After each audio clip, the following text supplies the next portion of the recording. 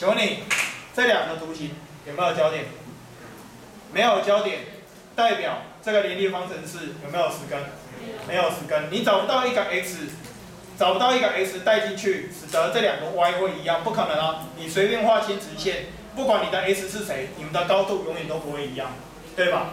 对吧？知道我意思吗？所以同学，我们现在遇到一个极大的困难。什么叫极大的困难？这个家伙，我们希望它是一个实数，然后根据这个地方，你发现它应该是这个方程式的实根，可是非常可惜的，这个方程式并没有实根，所以你告诉我，站在一个高中生的立场，这时候应该要怎么去看待这一件事情？这个东西要怎么看待它？负三的四分之一次方，我们不要扯太多，我们扯高中就好。就是说，从你们现在的理解，这个东西有没有办法被定义出来？没有，没有。所以我跟你讲哦，高中数学负三的四分之一次方是无法定义。我还是强调高中数学，因为大学是大学的事情。来，这个东西无法 define 它，无法定义。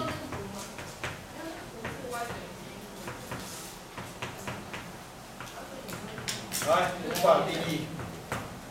注意哦，没有办法去定义它。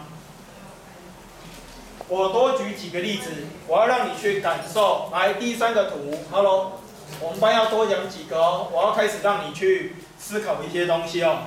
来，一样，负二的三分之一次方。好，一样哦，慢慢来。这个东西要怎么规定？好，好了，好了，来。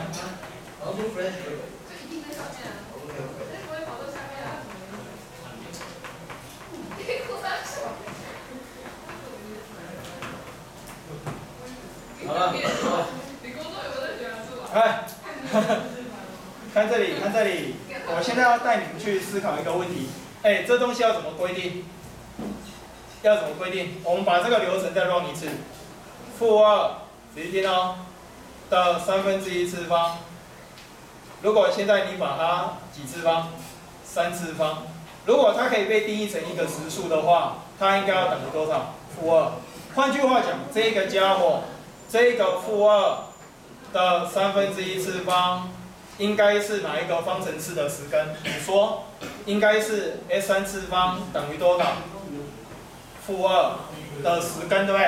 啊，你仔细听哦。它应该是这个方程式的实根。那现在我透过双函数作图，来，所有同学看我这边。好，慢慢来，慢慢来。我现在怀疑哦，你们念的国中不同，可能学的东西不一样，是不是？有些国中没有教这个，有些国中没有教这个，是吗？对，我们教材不一样。听你在屁，我会考也不一样。老师要尊重弱势族群。你们国中老师该不会说，反正你们高中就会学到了，所以就不教之类的？然后高中会送给国中学？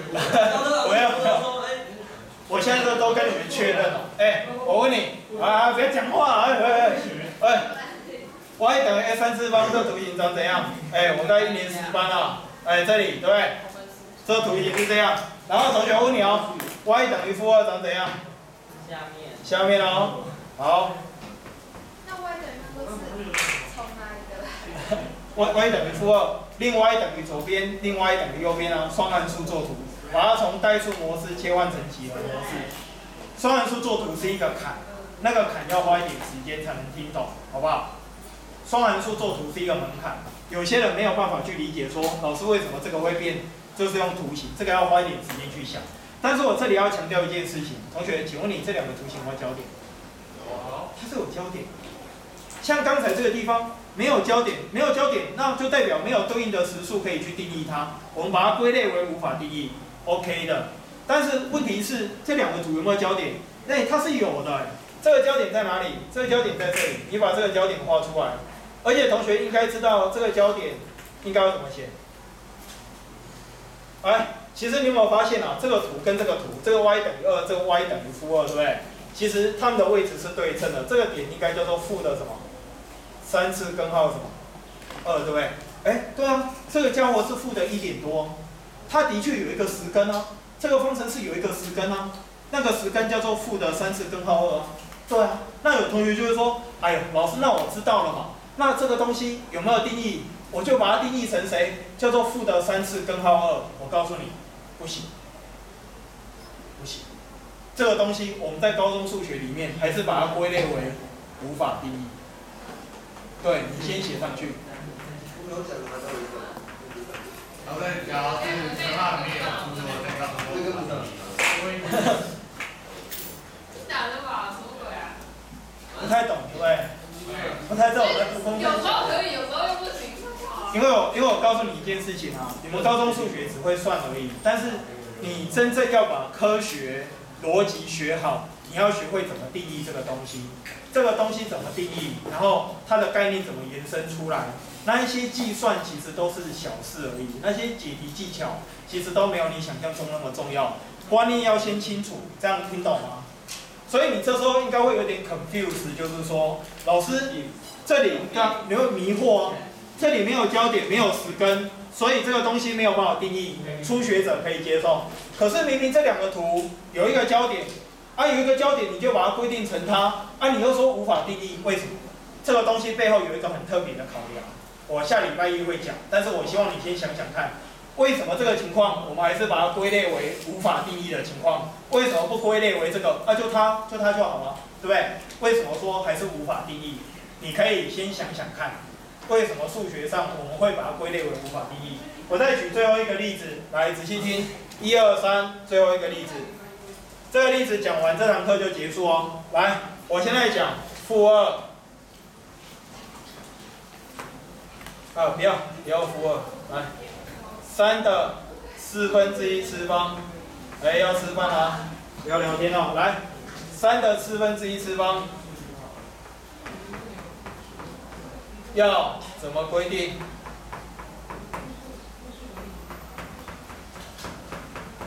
哎，不要 delay 我的进度啊！我剩下个礼拜。虽然这种东西哦，我告诉你一件事情。这个东西有些老师哦，花五分钟就讲。哦，所以他有实数真的是不能定义。啊？就是刚刚。他有焦点，但是我们数学上，你我会带你看课本，你会发现。底数小于零的时候，只要你的次方是一个分数，我们课本都把它归类为这种是属于没有办法定义的情况。我们课本要定义所谓的 a 的 n 分之一次方，它有一个，我们课本说 a 的 n 分之一次方，把它定义成，哎，要讲话要讲话，n 次根号 a，你要把这个东西定义成它，它有一个前提，你的 a 一定要是什么数？数，一定要是。正数，你的 a 不可以是负的，负的会变成没有办法定义。但是我这边要让你有一点感觉，就是说，以刚才这个例子来讲，它这个地方是负的，可是你明明就是这个东西，它是你只要定义它是这个方程式的一个实根就可以嘛，因为它是个实数啊，是不是就 OK？那的确啊，这两个图形有一个焦点，这个家伙的确是它的一个实根，完全没有错。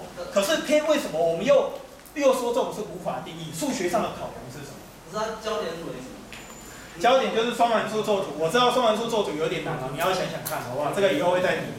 啊，我先把这讲完。哎，看我这边，要怎么规定这东西？来，这里四次方会等于多少？三。所以这个三的四分之一次方，它应该是哪一个方程式的实根？s 四次方等于多少？三的十根。因为要吃饭了，我们就赶快把这个观念先跟你提一下。来，你仔细听哦。这个家伙如果要定义的话，它是个实数，而且这个实数是这个方程式的十根。现在我们来透过双函数作图，看一下这个图形长什么样子。来，你仔细听呢，详细听哦，因为我下礼拜一会帮你做结论哦。请问你，y 等于 s 的四次方，它的图形是一个碗弓，它的图形是一个碗弓，是一个挖弓，可以吗？然后请问你，y 等于三是一条什么线？这叫 y 等于三。好了，让人感到困惑的第二个家伙又出现了，两个焦点，换句话讲，同学这里有一个点，这里有一个点，有两个点代表什么意思？代表这个方程式有几个实根？两个实根，它有两个虚根。啊，理说老师，它的两个实根，这个实根是谁？这个实根是谁？它们的位置刚好是对称的。这个实根，我告诉你哦，这个实根叫做四次根号谁？四次根号三。那这个实根叫做负的，对，非常好，负的四次根号三。所以左边那一点是成立的吗？对，我跟你讲这是十根哦，没有说这是十根，可是我会遇到一个困难哦。这个家伙，它应该是这个方程式的十根，那你到底是要把它定义成负的这个还是正的这个？我告诉你，你要把它定义成四次根号三，四次根号三，你一定要把它规定成四次根号三。你你会觉得不服气啊？凭什么？两个都是它的根啊？啊，为什么你要规定它是它？为什么不规定它是它？为什么？数学上的考量是什么？为什么要规定他是他？啊，它不行吗？他不行吗？不好，这样的规定会是不好的规定啊？为什么？我要你们去想，为什么不写正负？就你要去思考这个问题，你懂吗？如果我今天就直接跟你说这个东西啊，就叫做 n 次根号 a，然后规定 a 要大于零，这算什么？就叫你背起来吗？当然不是这样子。我们来看一下课本，来，所有同学看一下课本，课本里面五十六页，老师，你老师应该过去旁边讲吗？好来，五十六页，仔细听，仔细听，哎，不要讲话，那后面一拖一拖那个摇滚区啊，来看我这边啊。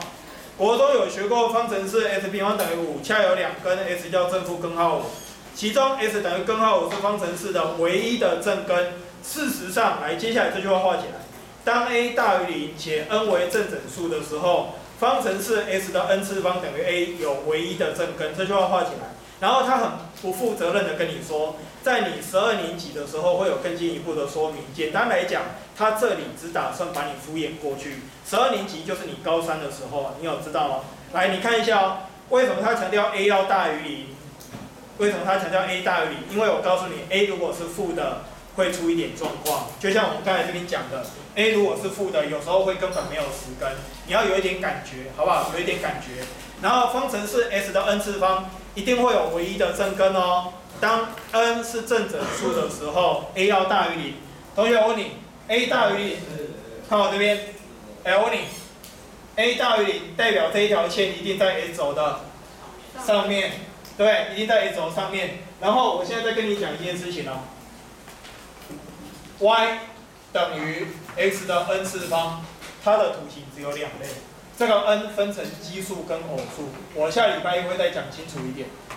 来，我告诉你一件事情，n 如果是偶数，它的图都会像碗弓一样，二次方、四次方、六次方、八次方，图都长得很像。